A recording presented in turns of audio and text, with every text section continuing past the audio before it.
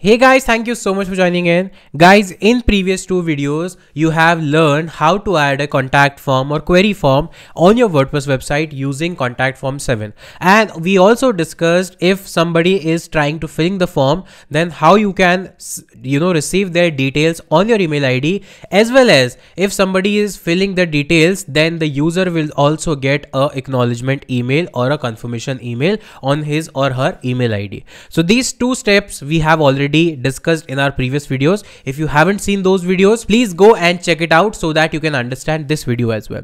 Now in this video, we will understand instead of receiving the details which users are filling on your email, if you want to directly store them inside your WordPress dashboard, then what is the process? And but let's discuss why is it required? Because sometimes if let's say lead flow is uh, you know high on your website. So it becomes very difficult to go to the email id and check one by one email and take out the details from there. So it becomes very hectic. So in order to make this process easier what we can do we can directly install a plugin and save the entire or save all the inquiries on our WordPress dashboard directly so that whenever somebody is filling up the form, the details are visible in the dashboard itself and we are not supposed to check out the mails again and again.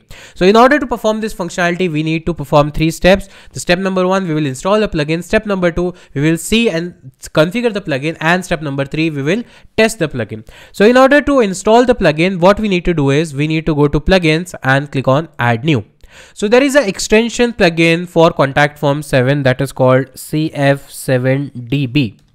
CF7DB means database. So whatever details are submitted on contact form 7 that would be stored inside the database. So here is the plugins contact form 7 database add-on CFDB7. So just click on this plugin by clicking on install option and once the installation is done you will click on activate now. So once the installation process is done we will simply activate the plugin. So this is our step number one completed. Go to step number two that is to see the settings and to configure this plugin. So we'll see contact form 7 uh, database add-on. So we will go to the submissions. So once you click on submission you can see the list of all the inquiries that you know are received till now so after installing this plugin, there is no inquiry. That's why the count is zero and the name of the form is there. So for each and every form, the inquiry count will be different. The details will be different. So here, this particular form does not have any inquiry so far. So let's go to the form and let's fill out couple of inquiries so that this particular form will have data. So we'll say Rahul demo, demo at the rate gmail.com enter your mobile number let's say I enter this and then the message. So let's submit this form. It is done. Go back to the dashboard to check refresh the page and you can see the details are there. And if you want to see from scratch you can see contact forms click on this and you can see the form name and the count is one because it has received the one inquiry. And same inquiry is also sent on the email id so if you see here the email id is also the, the email ID has also received the email of the inquiry. So if you click on this, now you can see the detail of the user that is name, email, mobile, message and the date when this was received. If you want to export this, you can simply select all the details and then you can you know export the csv or you can export all the details in csv format like this and the data will be downloaded. So there is no need to check the email again and again whenever there is a email submission or email id submission. Let's say let's say that if we want to create a new form let's say if we want to create a new form so let's just duplicate this form so that just for testing and we will say contact us form 2 let's say right? Click on save and let's configure this, copy the shortcode, edit with Elementor. Why am I doing this? Just to showcase that if you have multiple forms and both the forms are filled, then the inquiries will be received differently.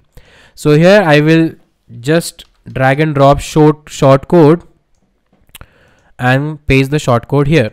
So now there are two forms, one and two. The right one is one and the left one is two. Now let's go to the preview and now let's fix fill this all uh, uh, also. So say we'll say rahul 2 right? So we'll say rahul2 at the rate gmail.com enter mobile number done and we will say demo 2 now let's submit this form.